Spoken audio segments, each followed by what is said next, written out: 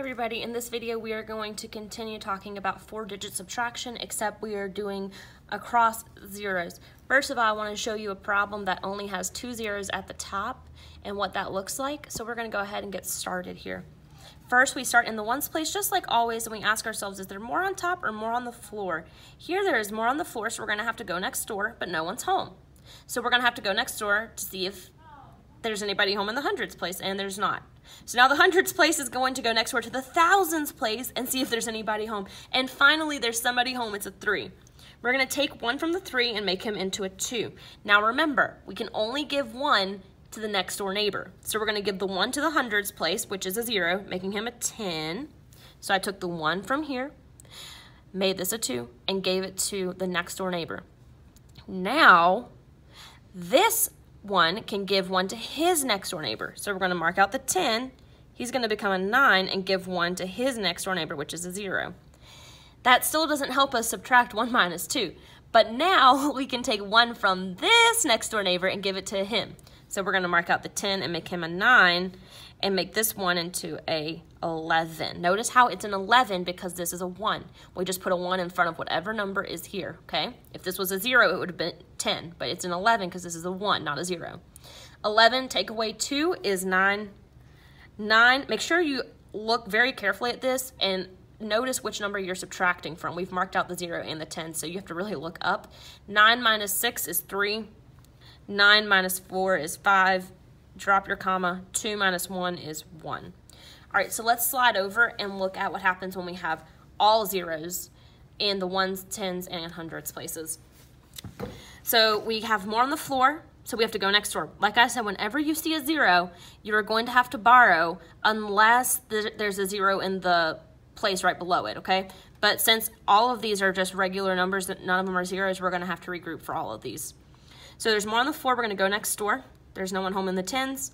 So the tens goes to the hundreds. There's no one home there. So the hundreds goes to the thousands. Finally, someone's home, a four. We're going to mark out the four, make him into a three, and give that one to the zero in the hundreds place. He's going to become a 10. And now we can take one from him to give to his next door neighbor. So he's going to become a 9, and we're going to give the 1 to the 0 here and become a 10. And now he can give one to his next door neighbor, so he's going to become a 9, and he's going to become a 10. Notice how this 10 does not become a 9 because I don't have any other places that I need to share with. Okay, so these two are both becoming 9s because they're sharing one with their next door neighbor. But the ones place doesn't share with anybody, so it stays a 10. 10 minus 5 is 5. 9 minus 6 is 3. 9 minus 4 is 5. Drop your comma. 3 minus 2 is 1.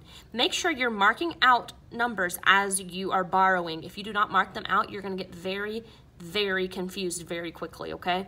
Your numbers need to be lined up nice and neatly or you're also going to get confused. Let's try a couple of more. Now, this one is interesting.